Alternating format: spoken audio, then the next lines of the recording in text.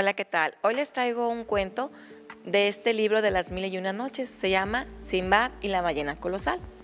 Pues resulta que había un joven, el cual venía de buenas familias, con estudios y todo, pero pues la vida no le favoreció mucho, era muy pobre y terminó cargando costales y le pagaban lo que la gente quería.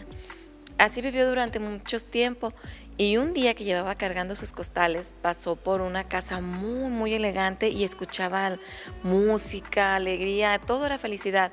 Se sentó afuera de la casa y se acordó de un poema que decían, dice, qué dichosos los ociosos y qué desdichados los que trabajan cargando costales y no ven sus frutos.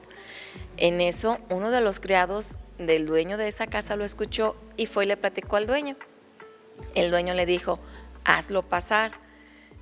Y le decían, ¿cómo va a pasar si está todo mugroso, andrajoso? Dice, está muy mal. Dijo, hazlo pasar, es mi invitado hoy.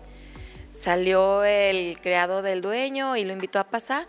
El muchacho muy sorprendido pasó y se quedó admirado de ver la belleza de esa casa. Todo era muy elegante, muy bonito, había muchas personas muy importantes y había música. El dueño lo hizo pasar y lo sentó a un lado de él. Y pues él no entendía lo que estaba pasando. Y el dueño le dijo, vuélveme a recitar los poemas que estabas diciendo afuera de mi casa. Y él decía que pues le daba pena, no sabía si en realidad era bien, para bien o para mal.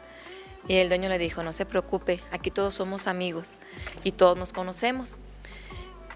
Y pues ya él lo comenzó a platicar y le dijo el dueño, dijo, ¿cómo te llamas? Dijo, me llamo Simbad. Dijo, ah, muy bien, tocayo, yo también soy Simbad, sí, soy Simbad del Marino. Y les voy a platicar una de mis aventuras. Dice, hace muchos años, dice, cuando murieron mis papás, me heredaron una gran fortuna. Dice, pero por mi inexperiencia de la juventud comencé a gastarla.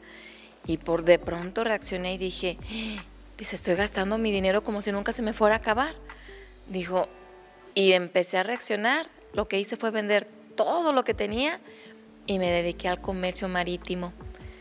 Y si quieren saber más de esta historia, los invito a leer los libros Las Mil y Una Noche, Simbar y la Ballena Colosal.